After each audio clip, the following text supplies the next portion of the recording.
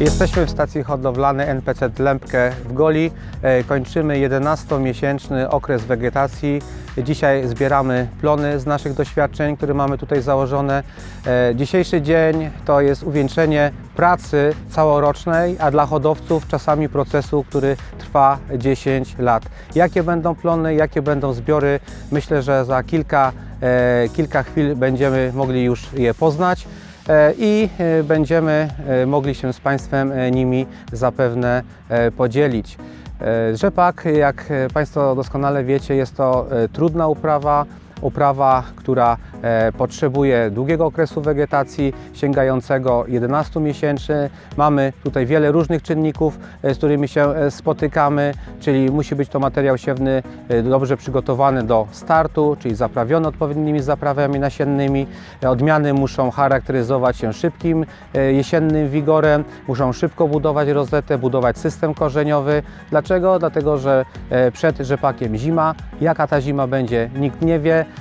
ale e, w każdym bądź razie e, podstawą e, plonu i budowania plonu jest oczywiście system korzeniowy i im e, na jesieni ten system korzeniowy będzie wykształcony e, głębszy, tym e, wiosną po ruszeniu wegetacji, kiedy będziemy mieli do czynienia z okresowymi pojawiającymi się niedoborami wody, rośliny będą mogły lepiej e, poradzić e, sobie z tymi warunkami.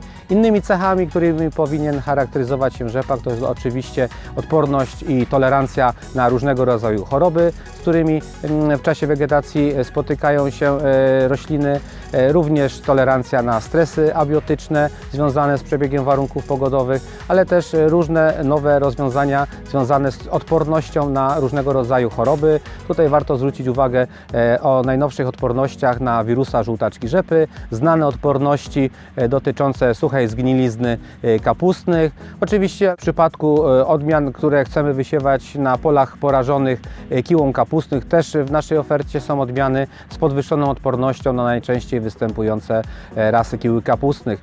E, Odmiany, które oferuje firma Rapul, które pochodzą z hodowli Rapul, są e, takimi odmianami, które zapewniają odpowiednie e, plonowanie na stabilnym poziomie. E, Odmiany charakteryzują się wieloma pozytywnymi cechami, co w konsekwencji prowadzi do tego, że- uzyskujemy wysokie plony o bardzo dobrych parametrach jakościowych.